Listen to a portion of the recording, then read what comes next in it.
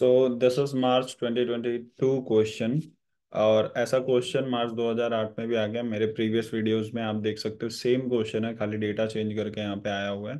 तो let solve it capacitor and capacitance ही है। तो यहाँ पे एक पैरेलल प्लेट कैपेसिटर है फिल्ड विथ एयर यहाँ मीडियम क्या दिया है? एयर ठीक है? Has an area of six square centimetre and plate separation of three millimetre तो यहाँ पे दो डेटा आपको दे दिया एरिया का और डिस्टेंस मीन्स प्लेट, जो दो प्लेट्स ऐसे रखे रहेंगे, उनके बीच का जो डिस्टेंस है, वो आपको मेंशन कर दिया। आपको बस फॉर्मूला पता होना चाहिए कैपेसिटेंस का काम हो गया। तो आप गिवन में क्या लिखेंगे?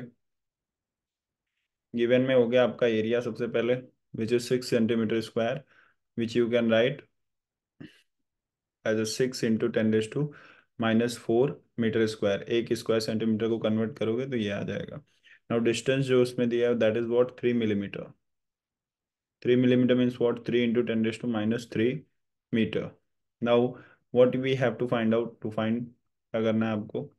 कैपेसिटेंस करना है। तो what is the capacitance so formula for that is what capacitance is equal to आपने फॉर्मूला देखा है epsilon naught a upon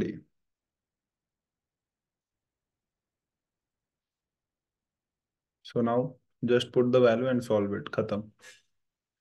solution क्या हो जाएगा इसमें? देखिए, c is equal to epsilon naught की वैल्यू आपको पता होनी चाहिए eight point eight five into ten to minus twelve ऐसा यूनिट इंटू एरिया कितना दिया six into ten to minus four and जो आपका डिस्टेंस था वो मिलीमीटर में था मीटर में आपने कन्वर्ट कर लिया three into ten to minus three cut कीजिए थ्री टू जा सिक्स हो गया एंड यहाँ पे ten to minus three ten to minus four के पास में जाएगा।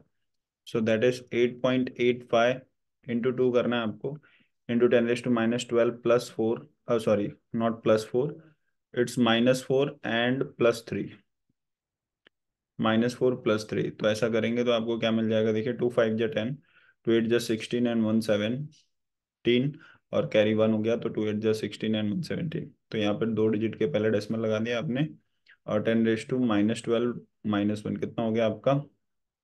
माइनस थर्टीन तो अगर आप एक डिजिट लेफ़्ट में इसको करते हैं तो like it is one point seven seven twelve farad which you can write as pico farad so one point seven seven pico farad is the answer exactly ऐसा ही क्वेश्चन था आपका।